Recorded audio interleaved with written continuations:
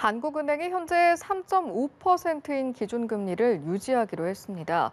벌써 여섯 차례 동결인 건데요. 현재 금리 수준으로도 물가와 부채를 관리할 수 있어서 이 같은 결정을 내린 것으로 풀이됩니다. 다음 달 말에도 금리가 결정되는데 국제 유가와 미국 기준 금리가 변수가 될 전망입니다. 문영민 기자입니다. 한국은행 금융통화위원회가 현재 연 3.5%인 기준금리 동결을 결정했습니다. 올해 2월을 시작으로 4월과 5월, 7월과 8월, 그리고 10월에도 동결하기로 한 겁니다. 이런 결정을 내린 주요 배경에는 물가가 자리 잡고 있는 것으로 풀이됩니다. 최근 물가 상승률이 오름세지만 하느니 예상한 경로에서 크게 벗어나진 않고 있습니다. 소비자 물가 상승률은 8월 3.4%, 9월 3.7%로 올랐지만 하느니 예상한 3% 중반대입니다.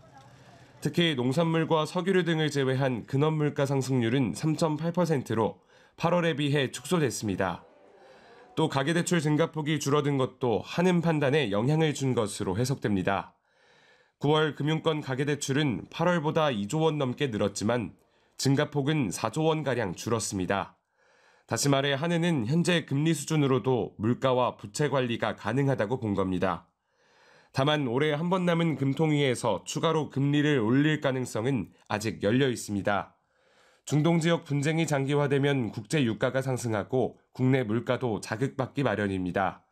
그럴 경우 하는 입장에선 오른 물가를 진정시키려 금리 인상 카드를 꺼낼 수가 있습니다. 또 미국이 금리를 연내 0.25%포인트 추가로 인상하면 한미 금리 차는 2.25%로 벌어집니다.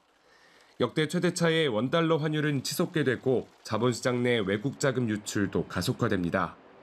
한은은 추가 금리 인상 필요성은 대내외 정책 여건 변화를 점검하면서 판단하겠다고 설명했습니다. 연합뉴스 TV 문형민입니다.